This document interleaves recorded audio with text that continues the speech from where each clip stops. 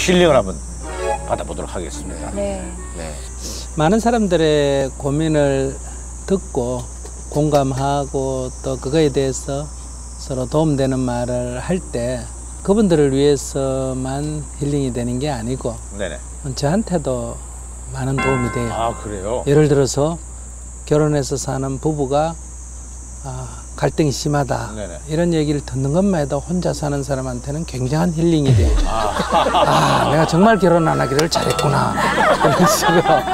그다음에 아이 때문에 막 울고불고 하는 걸 볼 때마다 저한테 그 굉장한 도움이 되죠. 그래서 제가 이렇게 혼자 웃으면서 살 수 있는 데는 이런 많은 사람들의 도움이 있어서 그렇습니다. 그렇죠. 참 그. 새 신부니 새 신부에게 정말 주옥 같은 말씀이네요. 아 정말 주옥 같은 말씀이네요. 그러나 또 저희가 운명적으로 이런 것들 피해 나갈 수가 없으니까. 네. 그렇다면 우리 백종원 대표님의 고민은 어떤 게 있을까요? 그래요. 아니 스- 저 스님한테 여쭤보는 거죠? 네, 네, 네. 제가 네. 제가 저기 죄송한데 66년생이고 자꾸 백일섭 선생님이 나오신 것 같아요. 네. 혹시 성대모사 하시는 거 아니죠? 제가 66년에 음력으로 7월 20일이거든 생일이 네. 밤에 났는데 네. 언제쯤 애를 가질지 그, 언제쯤 애를 가질지 그. 그런 거 물어보면 안? 그럼 어떻게 손가락을 내가 짚어야 됩니까?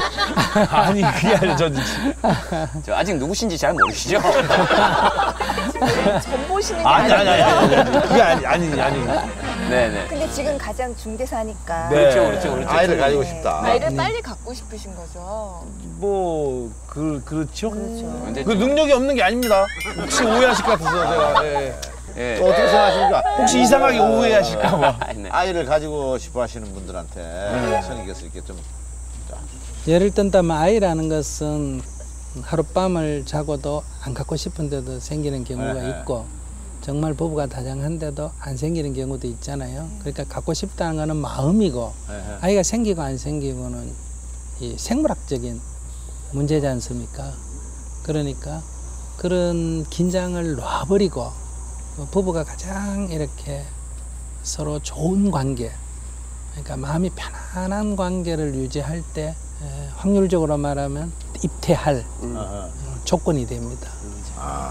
그러니까 생명에 관계되는 것은 억지로 하는 것은 좋지 않습니다. 그래서 가장 중요한 거는 아이를 어떻게 갖냐 신경 쓰지 말고 두 부부가 얼마나 화목하고 행복하게 사느냐 거기에서 아이가 생겨야 육체도 건강하고 정신적으로도 굉장히 안정이 됩니다.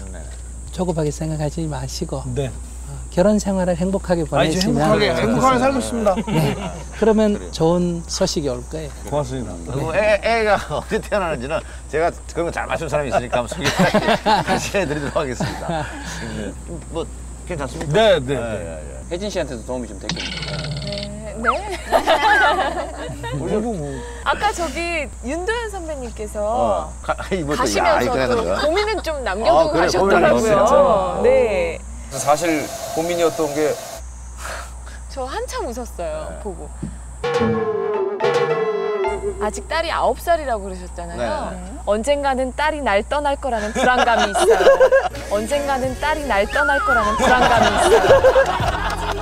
어떤 놈을 만날지 스님 불안감을 도대체 어떻게 잠재워야 할까? 벌써 이런 거. 예. 아홉 살짜리인데 예예 예. 불안하죠. 아홉 살인데요. 보통 아빠들이 결혼할 때 딸을 데리고 입장하지 않습니까? 네네네네. 신부 입장. 네. 그 정말 그 옛날에는 그런 건 전혀 저 아무렇지 않게 봤어요. 네네네. 진짜. 근데 요즘 보면요 울컥울컥해요. 언젠가 나도 저럴 텐데 내가 이 심성이 약한 내가 그냥 들어갈 수 있을까? 어. 어우 전 그거 못할 것 같아. 어 그럼 사위랑 동시 입장하면 되죠. 딸이랑. 어, 그것도 이상해. 하여튼 그런 어, 울컥함이 아, 빠들의 있으시구나. 마음이 그 사실 있어요. 울컥하다. 이런 만 들어요. 아마 윤도현 씨 생각도 그런 것 같은데 그러게요. 너무 이게 일찍 고민하는 거 아닙니까? 그러니까요. 불안감이 있으실 때 언젠간 딸이 날 떠날 거라는 야. 거. 그러니까 나를 위해서 딸이 있는가? 어, 딸을 위해서 내가 있어야 하는가 아. 하는 문제인 거거든요. 지금 이 고민은 나를 위해서 딸이